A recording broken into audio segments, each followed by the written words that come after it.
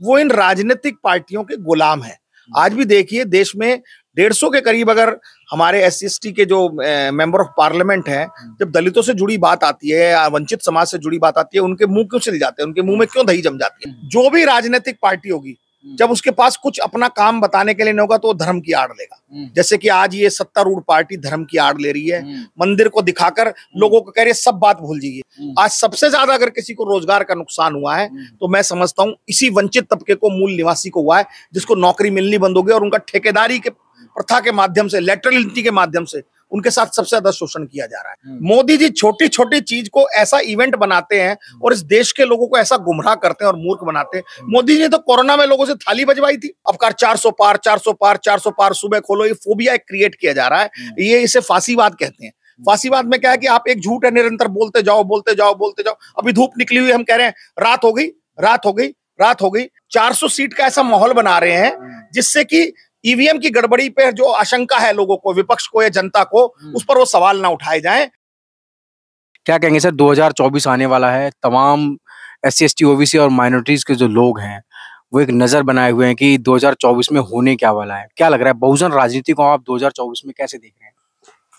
धन्यवाद जय भीम।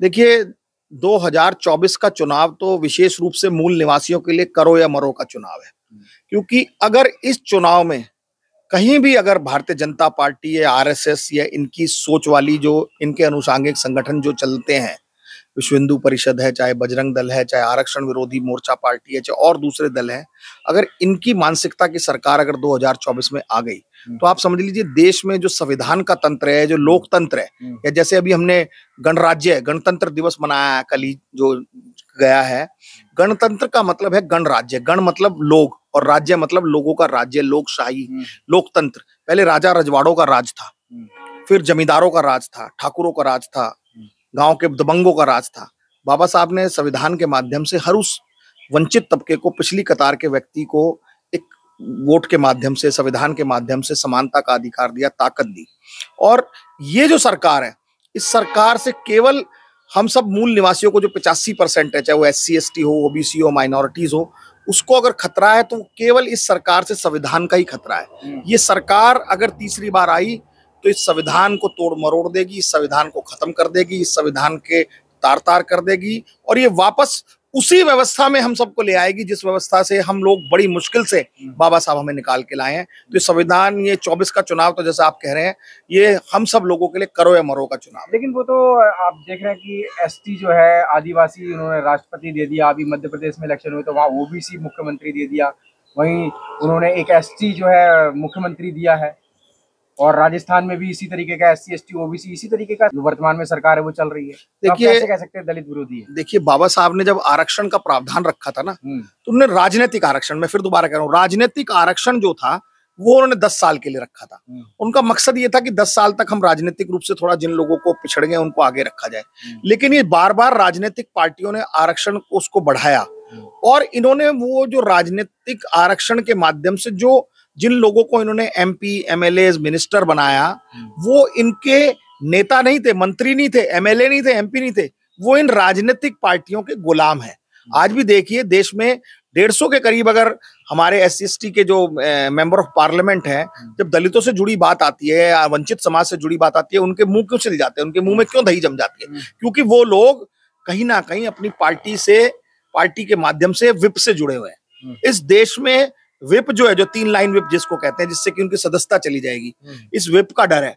और हमारे लोग जो सत्ता के बहुत लालची हैं हम्म। किसी भी व्यक्ति की पार्टी किसी पार्टी में कोई एमएलए बन जाए एमपी बन जाए या कोई राष्ट्रपति उपराष्ट्रपति बन जाए तो ये कोई बहुत बड़ी बात नहीं कि वो समाज का उत्थान कर दे। ये राष्ट्रपति पहली बार नहीं बने। इससे पहले कांग्रेस के राज में भी के आर नारायणन उपराष्ट्रपति भी रहे हम्म। जो दलित समाज से आते थे और राष्ट्रपति भी रहे। माइनॉरिटी से अब्दुल कलाम आज़ाद साहब भी रहे।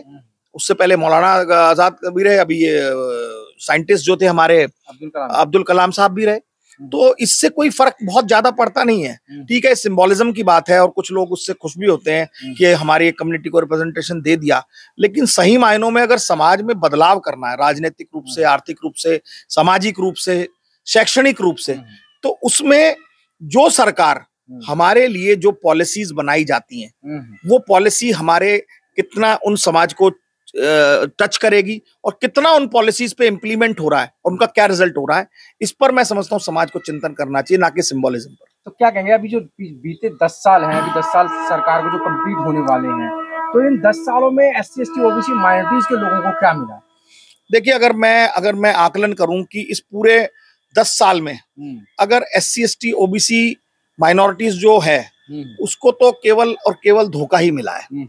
उसको तो इन्होंने धर्म के नाम पर अब जब इनके पास कुछ करने को नहीं है हम्म। जो भी राजनीतिक पार्टी होगी हम्म। जब उसके पास कुछ अपना काम बताने के लिए नहीं होगा तो वो धर्म की आड़ लेगा हम्म। जैसे कि आज ये सत्तारूढ़ पार्टी धर्म की आड़ ले रही है मंदिर को दिखाकर लोगों को कह रही है सब बात भूल जाइए आज से 2014 में जब लोग मोदी जी को लॉन्च कर रहे थे गुजरात के जब वो चीफ मिनिस्टर थे तो कह रहे थे बहुत हुई महँगाई की मार अब की बार मोदी सरकार बहुत हुआ महिलाओं पे अत्याचार अब की बार मोदी की सरकार हम्म। बहुत हुई बेरोजगारों पे मार अब की बार मोदी सरकार हम्म। तो इन्होंने जितने अपने वायदे किए थे हम्म। अगर उस वायदों पर लोग एक बार भी अगर चर्चा करें या गहन चिंतन करें तो मैं समझता हूँ मोदी सरकार माइनस में है दो करोड़ रोज़गार देने की इन्होंने बात की थी। हम्म। आज दस साल में बीस करोड़ रोज़गार हम्म। कहाँ है? हम्म। आज सबसे ज़्यादा अगर किसी को रोज़गार का नुकसान हुआ है तो मैं समझता हूँ इसी वंचित तबके को मूल निवासी को हुआ है जिसको नौकरी मिलनी बंद हो गई और उनका ठेकेदारी के प्रथा के माध्यम से लेटरल नीति के माध्यम से उनके साथ सबसे ज़्यादा शोषण किया जा रहा है।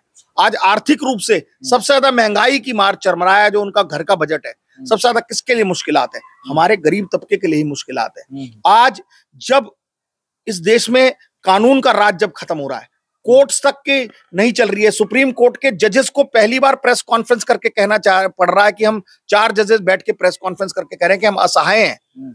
हमें खतरा है सुप्रीम कोर्ट को खतरा है हम्म। तो आप समझ लीजिए इस देश में जो चार बड़े पिलर हैं हम्म। एक कार्यपालिका एक न्यायपालिका एक आपकी मीडिया जिसको हम आ, कहते हैं है? चौथा पिलर चौथा पिलर जो कहते हैं तो आज देखिए कि सारे पिलर्स पे तो इस सरकार ने सबका गला दो दबा दिया है दम घोट दिया है हम्म। आज देश की सबसे मुख्य विपक्षी पार्टियों के मुख्य नेताओं को हम्म। पार्लियामेंट में जो अपर हाउस है राज्यसभा या लोकसभा हम्म। उन्हें बोलने तक नहीं दिया जा रहा अगर वो अपनी बात कोई वेल में जाके उठाते हैं विरोध दर्ज करते हैं तो उनको सस्पेंड कर दिया जाता है चारों तरफ़ राम राम तो हो रहा है राम की लहर है चारों तरफ़ झंडे लग गए हैं भगवान देखिए ये एक बहुत बड़ा मोदी जी की मैं इसमें तारीफ़ करूँगा कि मोदी जी बहुत बड़े इवेंट मैनेजमेंट के ए, मास्टर है हम्म। और अगर कोई एक बहुत बड़ी इवेंट मैनेजमेंट कंपनी खोली जाए हम्म। तो उसके चेयरमैन मोदी जी को बनना चाहिए। मोदी जी छोटी छोटी चीज़ को ऐसा इवेंट बनाते हैं हम्म। और इस देश के लोगों को ऐसा गुमराह करते हैं और मूर्ख बनाते हैं। हम्म। मोदी जी ने तो कोरोना में लोगों से थाली बजवाई थी। लोगों से दिए जलवा दिए थे। तो मोदी जी के इस मामले में मैं तारीफ़ ज़रूर करूँगा कि अभी भी जो ये राम मंदिर का इवेंट है ये टोटल पेड इवेंट था। हर बस्तियों में और विशेष रूप से हमारी दलित वंचित बस्तियों में पेड संस्थाएँ आई जो झंडे लगा के गई दिए बांट के गई कैलेंडर्स बांट के गई। आज जनता का कोई इससे कोई बहुत सरोकार नहीं है ना हमारे देश के नागरिकों को इससे कोई बहुत बेनिफिट हो रहा है। हम्म। आज देश में जब लिटरेसी रेट बहुत डाउन है अभी सर्वे आया है जिस सर्वे में कहा गया है कि देश में जो बच्चे हैं सरकारी स्कूलों के और सरकारी स्कूलों पे अगर मैं कहूँ तो कौन पढ़ रहे हैं? हमारे ही समाज के बच्चे पढ़ रहे हैं वंचित समाज के। सरकारी स्कूल के बच्चों की हालत ये है कि सातवीं आठवीं तक का बच्चा आज चार लाइन इंग्लिश की नहीं लिख सकता।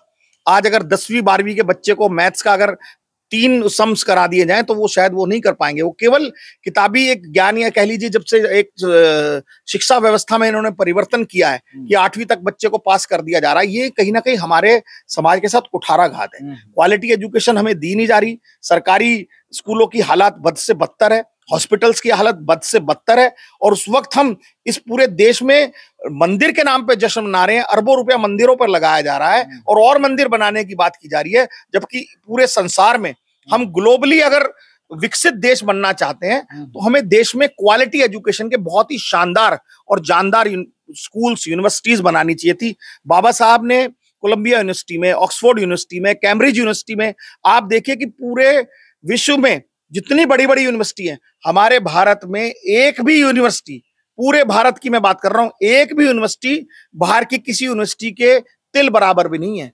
लेकिन वो फिर दावा कैसे करेंगे भाई इस बार 400 के पार हाँ ये वो ये इस तरीके की बात इसलिए की जा रही है उनकी वो पहले ही एक मीडिया के थ्रू माहौल बना रहे हैं जो गोदी मीडिया है हम्म। या जो मनुवादी मीडिया है या जो नोएडा की मीडिया है हम्म। उनके थ्रू की बहुत सारे लोग जी अब कार चार पार चार सौ पार चार सौ पार सुबह खोलो ये फोबिया एक क्रिएट किया जा रहा है हम्म। ये इसे फांसीवाद कहते हैं फांसीवाद में क्या है कि आप एक झूठ है निरंतर बोलते जाओ बोलते जाओ बोलते जाओ अभी धूप निकली हुई हम कह रहे हैं रात हो गई रात हो गई रात हो गई। तो ये इस तरीके का इनका काम है जो ये फैला रहे क्योंकि क्योंकि इन्होंने ईवीएम में गड़बड़ की हुई है। वीवीपैट जो है इनका, मैं आपको बता दूँ कि इन्होंने उसको सेट किया हुआ है। तो ये पहले से ही उसको 400 सीट का ऐसा माहौल बना रहे हैं, जिससे कि ईवीएम की गड़बड़ी पे जो आशंका है लोगों को विपक्ष को या जनता को हम्म। उस पर वो सवाल ना उठाए जाएँ और पहले से हम एक माहौल झूठा क्रिएट कर दे कि 400 पार 400 पार जबकि देश की जनता सही मायनों में त्रस्त और ग्रस्त है मोदी सरकार से और मैं पूरे देश के बहुजन समाज के लोगों को मूल निवासियों को एस सी ओबीसी माइनॉरिटी के लोगों को मैं रिक्वेस्ट करना चाहता हूँ कि इस बार इस भारतीय जनता पार्टी की सरकार को उखाड़ के फेंक दीजिए, नहीं तो ये बाबा साहब का संविधान कहीं ना कहीं उजाड़ देंगे, खराब कर देंगे, खत्म कर देंगे।